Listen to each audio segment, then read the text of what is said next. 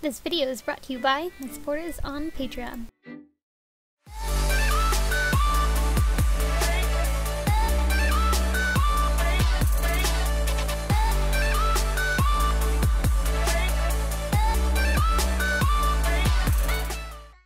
Hi guys, so I'm just doing a real quick video to show you how all of my Ziggs armor is attached or put together.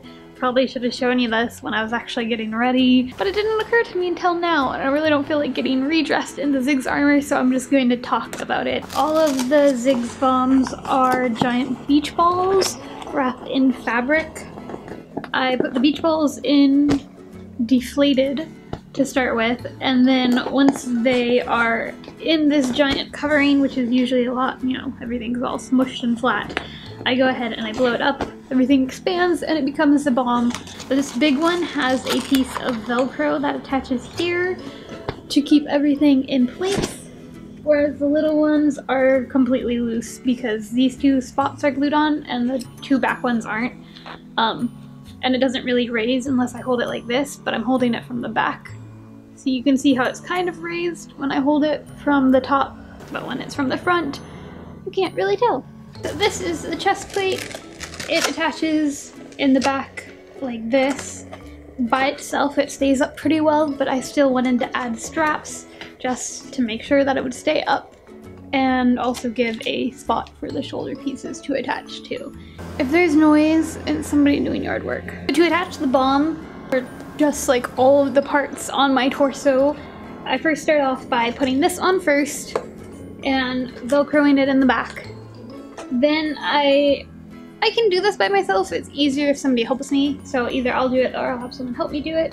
And they'll just go ahead and string these pieces through the bomb, uh, these little loops that I sewed onto the back of the bomb. There's four loops, there's two for each one. Once this is on, I go ahead and I attach both of these to these little velcro strips that I have on the front of the armor right here. And then I'll go ahead and attach the shoulder pieces which have velcro right here along the curve and this sits on the curve of my shoulder as well. So it gets attached here and this one gets attached here. And that is how the chest plate attaches. So everything stays in place fairly well. These are the knee pieces that go like right here, here.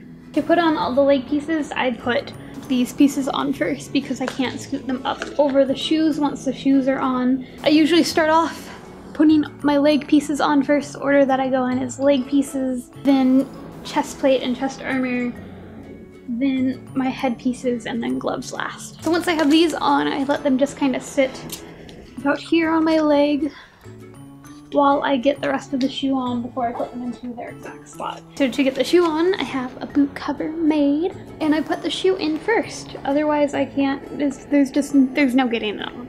The shoe has an open back, so it makes it easy to put it on. I just leave this unattached, and then I put it on. It's a little tricky once it gets to the ankle part, but it, it works. Once I get my foot in though, I go ahead and velcro around, velcro the shoe shut. Anyways, to keep the heel piece down, add a little piece of elastic that I just slip over the shoe, and my, my shoe is in. So this part up until this point is usually in place once I have the shoe on. To finish it off, I slide this up and under